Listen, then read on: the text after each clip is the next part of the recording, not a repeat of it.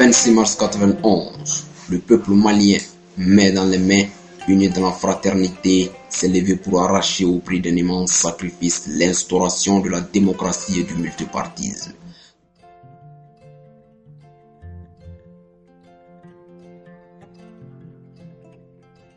Cette journée nous est une opportunité de rendre hommage à ces martyrs et tous ceux qui ont donné leur vie pour l'instauration, la promotion et le renforcement de la démocratie dans notre pays.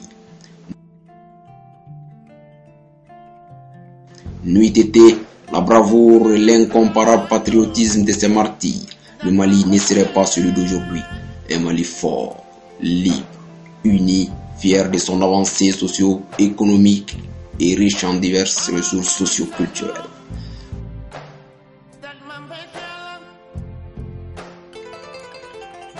Soudan français, colonie la République française, accède à son indépendance le 22 septembre 1960 et prend officiellement le nom Mali. C'est le plus vaste état de l'Afrique de l'Ouest, après le Niger, limité par ce même pays à l'Est. À l'Ouest par le Sénégal, la Mauritanie, au Sud par le Burkina Faso, la Côte d'Ivoire, la Guinée-Conakry, et au Nord par notre très cher pays hôte, l'Algérie.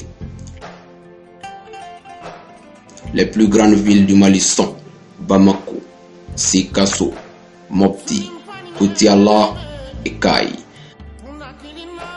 De 15 millions d'habitants en 2011, la population malienne est constituée de différentes ethnies. Depuis l'indépendance du Mali, six chefs d'État se sont succédés. Le premier fut Modibo Keïta. Ce fut le tour de Moussa Traoré qui dirigea le pays de 1968 à 1991. Alpha Omar Konaré est donc le premier président démocratiquement élu. Amadou Toumani Touré est élu en 2002 et réélu lors de l'élection présidentielle du 26 avril 2007. En 2012, une crise socio-politique et sécuritaire frappe le Mali et la présidence par intérim est assurée par le professeur John Kunda Traoré. Le 11 août 2013, les Maliens élurent un nouveau président, Ibrahim Boubacar Keïta, alias Ibeka. L'activité économique est surtout limitée autour des régions fluviales irriguées par le fleuve Niger. L'or est la première source d'exportation du pays, suivi du coton et du bétail. Raison du nombre important d'ethnies vivant au Mali et de l'héritage historique, la culture du Mali est riche et diversifiée.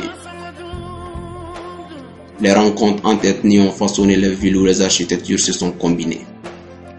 Le Mali, pays d'hospitalité, dispose d'un important site touristique naturel, sont classés au patrimoine mondial de l'UNESCO.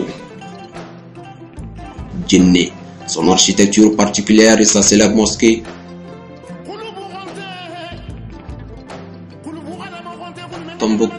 La cité mystérieuse et ses précieux manuscrits. Le tombeau des Askia, Baziangara, au pays d'Ogo. Vous aimeriez Mopti, la Venise africaine. Le poterie de Ségou. Le musée national du Mali est un musée archéologique et ethnologique situé à Bamako, présentant les objets rituels et les costumes des différentes ethnies vivant au Mali.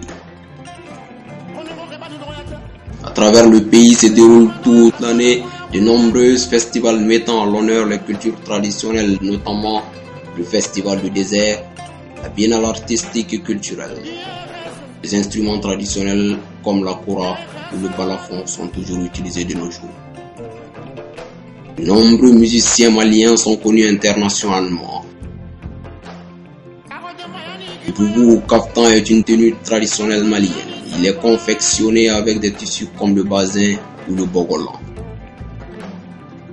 Soucieux de l'avenir de ses fils et filles, le Mali se donne dès à présent les moyens, les atouts, les esprits et la bonne volonté afin de garantir cet avenir. C'est pour construire son futur que le Mali est resté fidèle à la mémoire de son passé. Le Mali, c'est tout simplement la vie.